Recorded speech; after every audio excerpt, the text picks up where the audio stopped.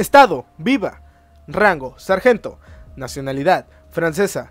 Afiliaciones, ejército francés, armisticio, coalición y Warcom. Tipo de sangre, B positivo. Fecha de nacimiento, 1 de septiembre de 1993. Edad, 27 años. Nombre completo, Dominic Tam. El sargento Dominic Tam también conocido como Domino, es un operador del Warcom de la facción de la coalición que aparece en Call of Duty Modern Warfare y Warzone. Cuarta generación coreano-francés, entrenada para representar a Francia como velocista olímpica hasta que Alcatala atacó París. Se unió al ejército francés, elegida por las fuerzas especiales. Es extremadamente competitiva y mantiene pocas relaciones personales.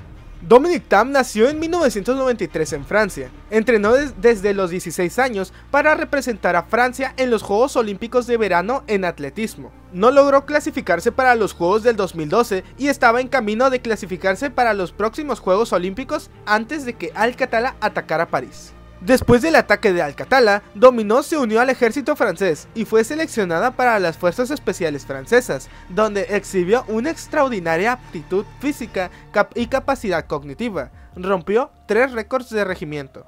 En 2017 fue enviada a Ursikistán como su primer despliegue de combate. Se le encomendó la tarea de apoyar a las fuerzas de la coalición. Fue elegida a dedo para representar a Francia dentro de la unidad Warcom. En marzo de 2020, el nuevo líder de Al-Qatala, Khaled al-Assad, lanzó un asalto a gran escala contra Verdansk en Castovia. Operadores de la coalición y lealtad fueron desplegados en Verdansk para detener a Al-Qatala, como parte de la iniciativa Armisticio. Durante su servicio con Armisticio, Domino supuestamente desarrolló una rivalidad amistosa con un operador. Este operador se llamaba Sidney Sid.